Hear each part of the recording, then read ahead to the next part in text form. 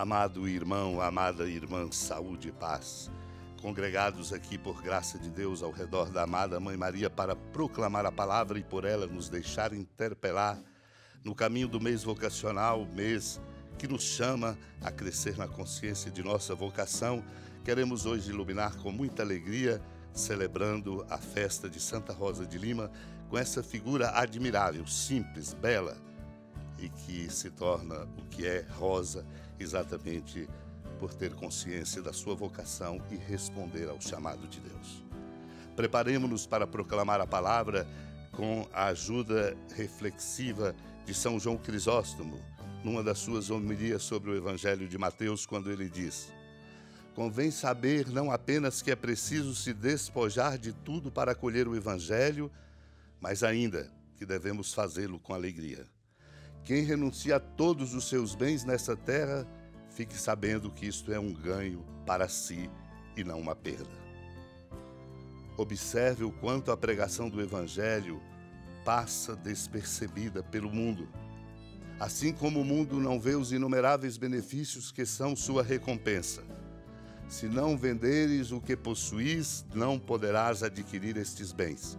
Se não os procurares com ardor, não os encontrarás.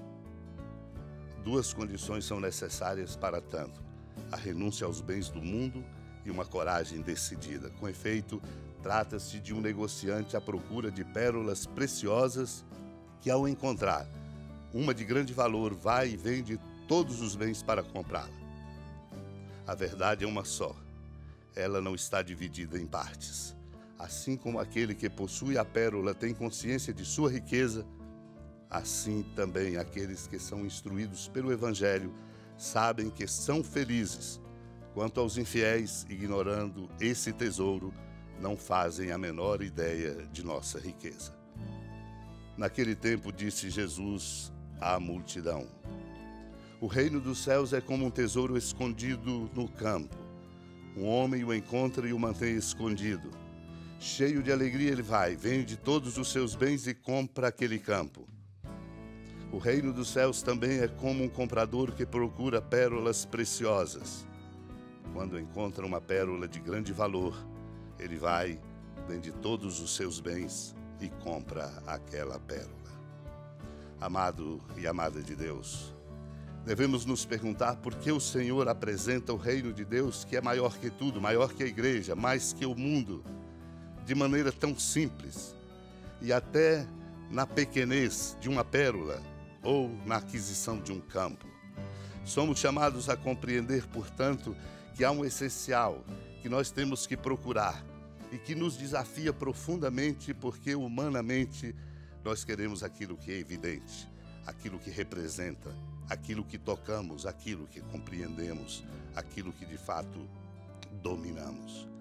Por isso, um homem que encontra escondido aquele campo e nele sabe que está aquilo que é essencial, dispõe de tudo para ter aquele campo, isto é, para buscar o essencial. Esta é uma sabedoria, assim como o comprador que procura pérolas. Quando encontra a pérola de grande valor, ele vai e vende todos os seus bens e compra aquela pérola. Somos, portanto, desafiados a procurar para encontrar aquilo que de fato conta nem sempre aquilo que elegemos como prioridade, ou que nos faz gosto, ou que para nós nos parece ser o mais confortável e adequado, o é. Por isso precisamos, como diz Santa Rosa de Lima, festa que hoje celebrando, celebramos, iluminando o caminho do mês vocacional, ela diz: O Senhor Salvador levantou a voz e com incomparável majestade disse: Saibam todos que depois da tribulação se seguirá a graça. Reconheçam que sem o peso das aflições não se pode chegar ao cimo da graça. Entendam que a medida dos carismas aumenta em proporção da intensificação dos trabalhos. Acautelem-se de Santa Rosa de Lima os homens contra o erro e o engano. E esta é a única verdadeira escada do paraíso, e sem a cruz não há caminho que leve ao céu. Ouvindo estas palavras, penetrou-me um forte ímpeto, diz ela, como de me colocar no meio da praça e bradar a todos de qualquer idade, sexo e condição. Ouvi, povos, ouvi, gentes. A mandado de Cristo, repetindo as palavras saídas de seus lábios, quero vos exortar. E aí, Santa Rosa, festa hoje celebrada, nos diz: Não podemos obter a graça se não sofrermos aflições. Cumpre acumular trabalhos sobre trabalhos para alcançar a íntima participação na natureza divina a glória dos filhos de Deus e a perfeita felicidade da alma. Unidos ao coração da amada Mãe Maria e também pela intercessão de Santa Rosa de Lima, hoje festa celebrada, supliquemos a Deus a graça de nos abrirmos à sua graça e de buscarmos aprendendo o caminho, o que conta e o que é essencial. Supliquemos. Senhora da piedade, Mãe Virgem do Cristo Deus. Lembrai-vos, ó piedosíssima Virgem Maria, que nunca se ouviu dizer que alguém daqueles que, tendo recorrido à vossa proteção, implorado a vossa assistência e reclamado o vosso socorro, tenha sido por vós desamparado. Animado com igual confiança, vós recorro, ó Virgem das Virgens, e gemendo sob o peso dos meus pecados, me prostro a vossos pés. Não desprezeis as minhas súplicas, ó Mãe do Verbo encarnado, mas dignai-vos de as ouvir propícia e de me alcançar o que vos peço. Amém. Feliz padroeira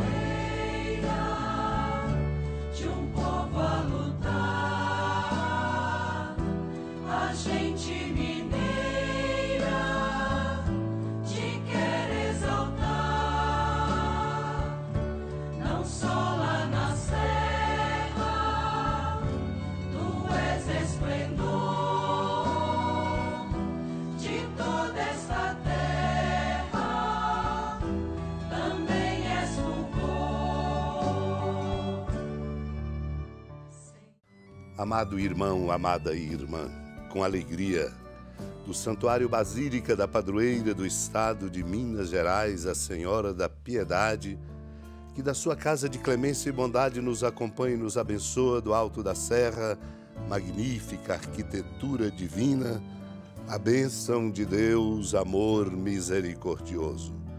Pai, Filho e Espírito Santo, Desça sobre sua família, proteja sua casa, sustente sua vida, fecunde o caminho missionário de nossa igreja e nos encha de sabedoria e permaneça conosco para sempre.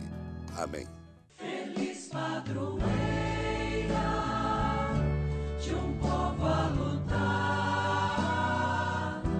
a gente